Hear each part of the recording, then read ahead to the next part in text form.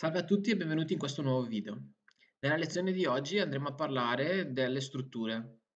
Che cosa sono le strutture? Sappiamo che in Solidity ci sono diversi tipi di data types, per esempio ci sono le stringhe, ci sono gli address, ci sono gli assigned integers e così via. Tuttavia a volte vorremmo poter creare un data type più customizzato e per fare ciò possiamo utilizzare le strutture cerchiamo di capire un attimino come sono fatte queste strutture.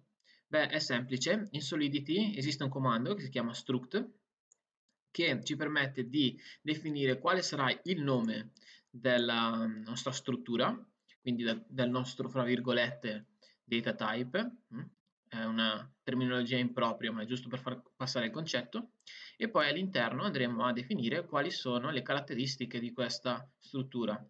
Ad esempio, Immaginiamo di avere una struttura che si chiama player, un giocatore. Mm, il giocatore avrà un nome, avrà un indirizzo, mm, perché è colui che utilizza lo smart contract, ad esempio, e poi avrà un numero di goal. Quindi questo è lo scheletro o il template della nostra struttura. Di conseguenza possiamo fare delle operazioni su questa struttura, possiamo andare a creare nuovi, delle nuove variabili, possiamo andare a, leggere il contenuto delle variabili, a fare l'update o a cancellarle. Bene, proviamo a vedere come creare dei, delle nuove variabili basate sulla struttura appena creata.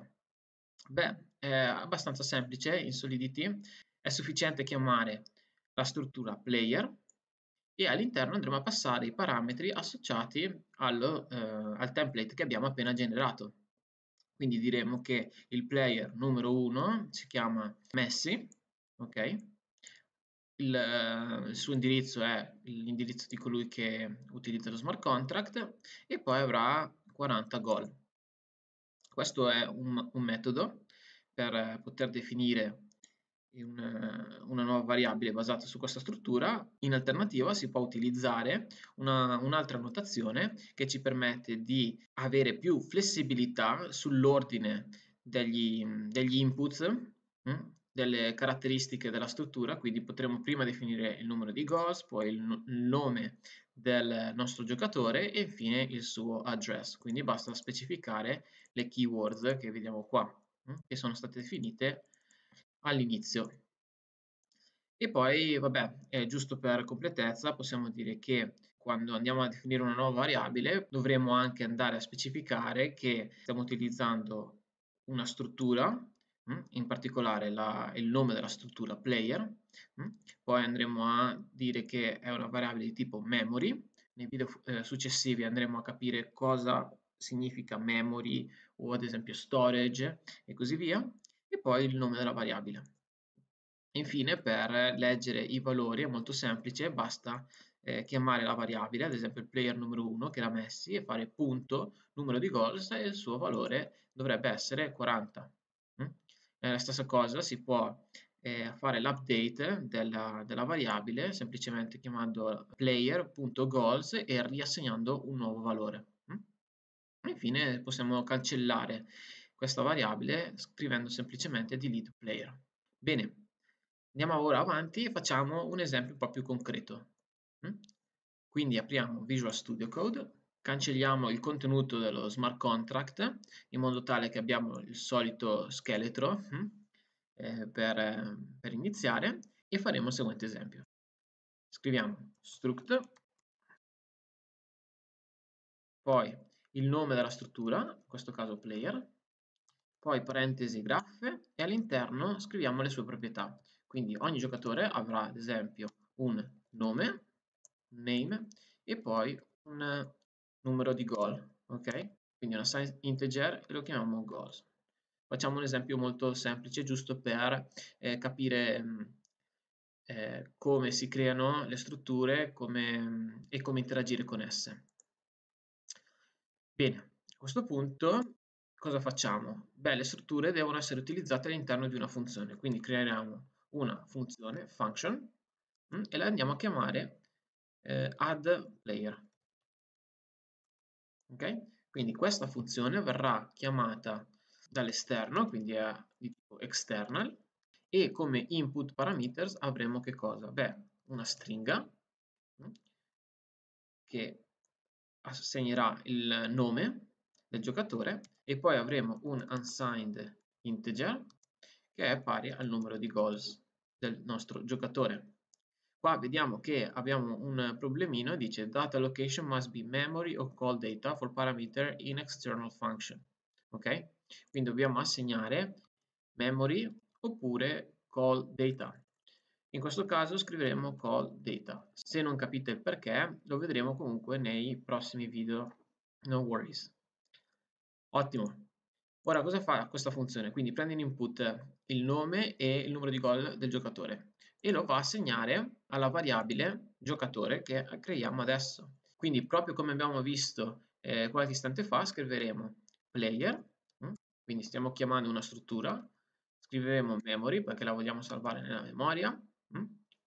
e poi scriveremo player, un player generico, un giocatore, e scriveremo poi ancora player, che è il nostro nuovo data type, fra virgolette, e diremo che il nome è pari a underscore name e il numero di goals è pari a underscore goals. Non dimentichiamoci il punto e virgola. Ottimo! Ora proviamo a portare la nostra funzione uno step più in là e possiamo fare la seguente operazione. Potremmo provare a creare un array di strutture in modo tale che ciascun elemento dell'array, quindi del vettore, contiene le informazioni relative ad un giocatore. Come possiamo fare ciò? Beh, creiamo il seguente array e diremo che player poi ci mettiamo le parentesi quadre, è uguale a players, dove players è appunto un array. Ora, se questa ehm, notazione vi sembra strana, beh, andiamo a vedere in realtà come definivamo i vettori nelle, nei video precedenti. Se andiamo negli appunti e cerco array, eccoli qua, vedrò che nel caso proprio più semplice possibile avevamo definito un array come il data type seguito dalle parentesi quadre e poi dal nome del, eh, dell'array stesso. E esattamente facciamo la stessa cosa qui. Avremo il nostro data type nuovo player seguito dalle parentesi quadre più il nome dell'array. E che facciamo? È molto semplice, andremo ad aggiungere all'array players il singolo giocatore. E questo si può fare molto semplicemente scrivendo players.push e andiamo ad aggiungere player all'array.